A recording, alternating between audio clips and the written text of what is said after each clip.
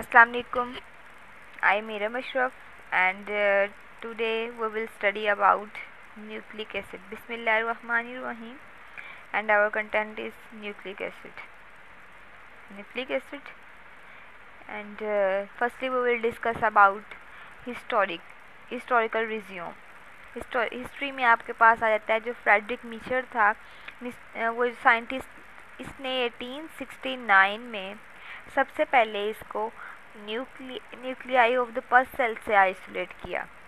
इस वजह से इसको न्यूक्लियन कहा जाता है। न्यूक्लियन जो है, जब इसकी नेचर देखी गई तो एसिडिक नेचर थी, इसलिए हम अब इसे न्यूक्लिक एसिड कहते हैं। अब न्यूक्लिक एसिड जो है, वो किससे मिलके बनता है? पॉलीमर है ये न्यूक्लियोटाइड्स का। इसके अलावा ये न्यूक्लियाई ऑफ़ द सेल्स में प्रेजेंट होता है। और ये हेरिडिटी डिटर्मिनेशन में हेल्प करता है, यानी कि ये हेरिडिटी करेक्टर्स को वन जनरेशन से नेक्स्ट जनरेशन में पास आउट करता है। अगर इसके एलिमेंट्स की बात करें तो कार्बन है हाइड्रोजन है oxygen nitrogen and phosphorus types हैं, आपके पास टू टाइप्स होती हैं न्यूक्लिक एसिड की deoxy ribo nucleic acid DNA और राइबो न्यूक्लिक एसिड आरएनए जो डीएनए है, वह, वो कहाँ कहाँ पे पाया जाता है? तो सबसे पहले जो है डीएनए वो न्यूक्लियस में पाया जाता है और इसके अलावा ये माइटोकॉन्ड्रिया जो है, वो भी जो है सेल्फ सस्टेनिंग ऑर्गेनाली कंसिडर किया जाता है। इसे, इसके पास भी जो है वो अपना डीएनए होता है और वो खुद ब खुद अपनी जो है वो मैकेनिज्म प्रोटीन सिंथेसिस रेगुलेट करती है। आरएनए जो है वो जो इसके अलावा डीएनए क्लोरोप्लास्ट में पाया जाता है आरएनए जो है वो थ्रू आउट द सेल्स जो है वो पाया जाता है। अब न्यूक्लिक एसिड और न्यूक्लिक एसिड और उसके स्ट्रक्चर की बात करते हैं तो न्यूक्लिक एसिड जो है ये पॉलीन्यूक्लियोटाइड कहा जाता है और इसका बिल्डिंग ब्लॉक जो है वो क्या है? न्यूक्लियोटाइड्स हैं। अब नेक्स्ट हमारे पास आ जाता है न्यूक्लियोटाइड्स न्यूक्लियोटाइड्स क्या होती हैं? ये एनर्जी रिच कंपाउंड होती हैं जो कि बहुत सारे मेटाबॉलिक प्रोसेसेस को एक्टिव जो है, वो रेगुलेट करती हैं। इसके अलावा ये केमिकल सिग्नल्स के तौर पर भी एक्ट करती हैं। हॉर्मोन्स जो है रिस्पॉन्ड करते हैं एक्सटर पे। उसमें भी ये रोल प्ले करती हैं। इंजाइम को फैक्टर भी हैं मेटाबॉलिकल इंटरमीडिएट भी हैं। और अगर हम इसकी कंपोजिशन की बात करते हैं तो ये फॉस्फेट शुगर और नाइट्रोजिनस बेस से बनती है। तो ये बहुत इंपॉर्टेंट है, ये बहुत क्वेश्चन पूछा भी जाता है, ये फॉस्फेट शुगर और नाइट्रोजिनस बेस से बनती है। यहाँ पे आप न्यूक्लियोटाइड का स्ट्रक्चर जो है वो देख सकते हैं कि यहाँ पे न्यूक्लियोटाइड है। न्यूक्लियोटाइड के साथ जो है वो क्या क्या चीज़ें इंक्लूड है? फॉस्फेट अब शुगर जो है वो राइबोस भी हो सकती है और डीऑक्सी राइबोस भी हो सकती है। बेसिस जो है वो प्यूरिन्स और पायरेमिडीन्स दोनों है। प्यूरिन्स एडेनिन और गवानीन होती है पायरेमिडीन साइटोसिन साइटोसिन थायामीन और यूरोसल है। तो सबसे पहले हम जो है वो देखते हैं न्यूक्लियोसाइड्स क्या होते हैं। अगर हम न्यूक्लियोटाइड में से फॉस्फेट को रिमूव कर देते हैं तो वो न्यूक्लियोसाइड बन जाता है। यहाँ पे आप देखें कि ये, यहाँ पे ये भी क्वेश्चन बनता है कि ये बॉन्ड कौन सा होता है। ये जो है आपके पास क्या है? राइबोस शुगर है, जो कि बीटा ग्लाइकोसिडिक बॉन्ड के थ्रू किसके साथ? बेस के साथ लिंक है। यहाँ पे फाइव पे फॉस्फेट ग्रुप मिसिंग है तो that it is known as nucleoside तो फॉस्फोरिक एसिड जो है, ये रोल प्ले करता है। फॉस्फोरस जो है, वो पेंटावेलेंट होता है। थ्री इसके साथ मोनोवेलेंट हाइड्रोक्सल ग्रुप अटैच हैं और वन पे डाइवेलेंट ऑक्सीजन अटैच होता है। और जो हम शुगर की बात करते हैं, वो पेंटोज शुगर होती हैं, जिन्हें हम कीटो शुगर्स भी बोलते हैं। और ये जो है, ये डीऑक्सी राइबोस भी होती हैं और राइबोस शुगर भी होती हैं। डीऑक्सी और राइबोस शुगर में डिफरेंस ये होता है कि डीऑक्सी में कार्बन नंबर टू से हाइड्रोक्सल ग्रुप रिमूव कर दिया जाता है। राइबोस शुगर में से तो डीऑक्सी राइबोस बनती है।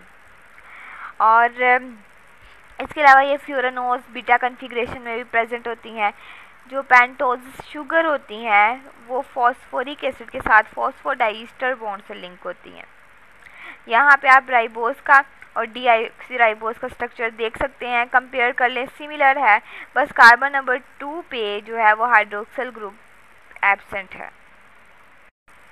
नाइट्रोजिनस बेस की बात करते हैं तो उसकी टू टाइप्स हैं। प्यूरिन्स एंड पायरिमिडीन्स अब ये जो है, ये बेस जो है वो शुगर के साथ लिंक्ड होती हैं। प्यूरिन में हम पहले भी डिस्कस कर चुके हैं क्या होती हैं एडिनिन और गवानीन और पायरिमिडीन कौन सी होती हैं? यूरोसिल थाइमिन और cytosine purine double member ringed होती हैं और पायरिमिडीन सिंगल मेंबर रिंग होती हैं। और ये बॉन्ड जो था वो ग्लाइकोसिडिक बॉन्ड बनाते हैं। यहाँ पे आप प्यूरिन्स का स्ट्रक्चर जो है वो देख सकते हैं। ये प्यूरिन्स हैं आपके पास, ये पायरेमिडीन है। यूरोसिल का स्ट्रक्चर जो यहाँ पे नहीं दिया गया। एडेनिन है और ये गोवानीन है। एडेनिन के स्ट्रक्चर में देखें, यहाँ पे माइनर ग्रुप है, लेकिन गोवानीन के स्ट्रक्चर में यहाँ डबल बॉन्ड ओ है। और यहाँ पे आप जो है एन जो है, अगर अटैच करते हैं गवानीन बन जाता है। थायामीन का स्ट्रक्चर में यहाँ पे डबल बॉन्ड और डबल बॉन्ड ओ और C H three group attach है इसमें। N H three C double bond O group attach है। आगे आ जाता है आपके पास शुगर और फॉस्फेट की बैक बोन यहाँ पे जो शुगर है, ये शुगर इंडिकेट कर रही है। ये जो है, इसका है कार्बन नंबर फाइव यहाँ से one two three four five carbon number five किसके साथ लिंक हो रहा है?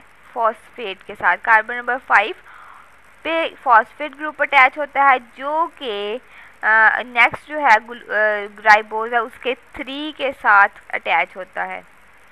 तो phosphate group join the third carbon of the one sugar to the five carbon of the next sugar यहाँ से थर्ड पे जो था हाइड्रोक्सल ग्रुप फॉस्फेट उसके साथ लिंक हुआ, और इसी तरह आपके पास चेन बन जाती है। अगर आप इसके साथ बेस अटैच करें तो कार्बन नंबर वन पे बेस अटैच होती है। Guanine cytosine cytosine adenine thymine कोई भी आप जो है वो बेस अटैच कर सकते हो। इनका ऑर्डर जो है, ये बहुत इम्पोर्टेंट होता है जब आप इसके जेनेटिक मटेरियल की बात करते हैं जेनेटिक इन्फॉर्मेशन की। एक बेस रिप्लेस करने से डिज़ीज़ हो जाती है। फॉस्फोस डाइस्टर बॉन्ड है। फॉस्फोडाइस्टर बॉन्ड क्या करता है? दो न्यूक्लियोटाइड्स को लिंक करता है। दो न्यूक्लियोटाइड्स जो हैं, वो फॉस्फोडाइस्टर बॉन्ड से किस तरह लिंक होते हैं? यहाँ पे आप देखें कि ये हमारे पास राइबोस शुगर है और डीऑक्सीराइबोस शुगर है। डीऑक्सीराइबोस में फाइव पे हमने अभी sorry one two three four five five पे हमने अभी डिस्कस किया कि क्या प्रेजेंट होता है फॉस्फेट ग्रुप अब ये जो फॉस्फेट ग्रुप है, ये किसके साथ लिंक है? थ्री के हाइड्रोक्सल के साथ। और इसकी जो ग्रोथ है, वो फाइव टू थ्री डायरेक्शन में होती है। यहाँ पे आप देखें आरएनए का स्ट्रक्चर गिवन है। यहाँ पे सेम फॉस्फोडाइस्टर बॉन्ड प्रेजेंट है। लेकिन इसमें आपने क्या करना है? बेस को रिप्लेस कर देना है। थायामीन की जगह पे क्या आ जाएगी? यूरोसेल्ला आ जाएगी। और यहाँ पे राइबोस शुगर जो है, वो प्रेजेंट होती है। तो जो डीएनए और आरएनए है, इन दोनों में जो है फॉस्फोडाइस्टर बॉन्ड जो है वो शुगर मोइटीज़ को लिंक करता है।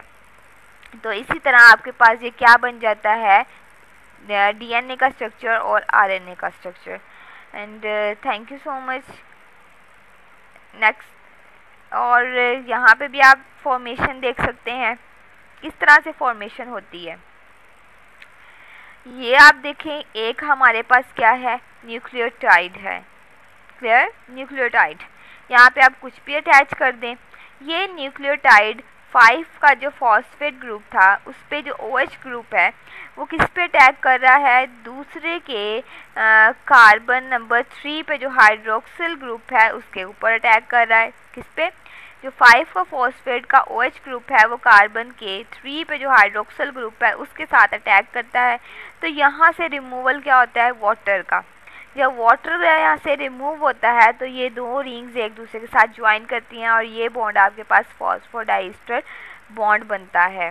और इसको रिएक्शन को कंडेंसेशन रिएक्शन कहते हैं और ये लिंक कर रहे हैं, इसलिए हम इसको लाइक गेस एक्टिविटी भी कहते हैं, जिसमें टू थिंग्स ज्वाइन करती हैं। और पोलीमरेज इस रिएक्शन को कैटलाइज करता है। Thank you so much and next topic we will discuss in our next video take care अल्लाह हाफिज़ स्टे होम स्टे सेव अल्लाह हाफिज़